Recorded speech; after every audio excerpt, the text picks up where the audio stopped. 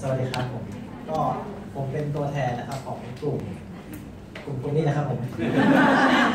ก็จะมานำเสนอที่เป็นในหน่วยงานของโรงพยาบาลนะครับ ผมก็จะมาให้คำนำเสนอนะครับผมก็ในส่วนของวิสัยทัศน์นะครับผมก็อ่าในเป็นโรงพยาบาลทั่วไปครับผมมีศักยภาพสูงครับมีบริการที่มีคุณภาพและเป็นเลิศด้านเครือข่ายครับผม ในส่วนของ strategic goal นะครับก็คือประชาชนเนี่ยต้องมีความรู้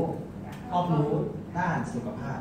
นะครับผมในในในทุกด้านนะครับสำหรับภารกิจของเราจะมีสองข้อด้วยกันนะครับ ก็คือข้อหนึ่งจะมีการสร้างความเข้มแข็งของภาคีเครือข่ายสุขภาพ ในระดับของปฐมภูมิและทุติยภูมิครับในส่วนของสองข้อสองก็คือพัฒนาระบบบริการเพื่อลดปัญหาของประชาชน ฉะนั้นในส่วนที่เราจะสามารถนำมาจัดการได้แหละคือ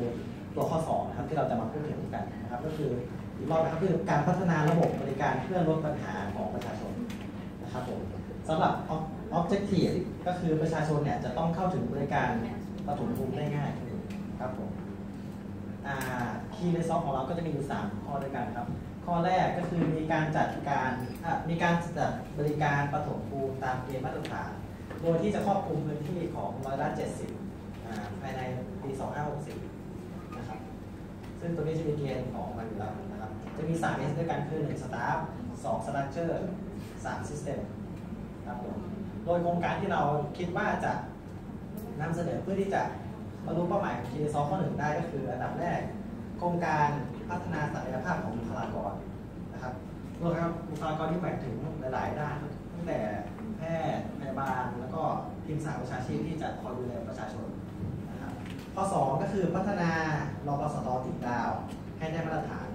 นี้จะหมายถึงมันเป็นคำว่าเราตอก็คือเป็นโรงพยาบาลส่งเสริมสุขภาพตำบล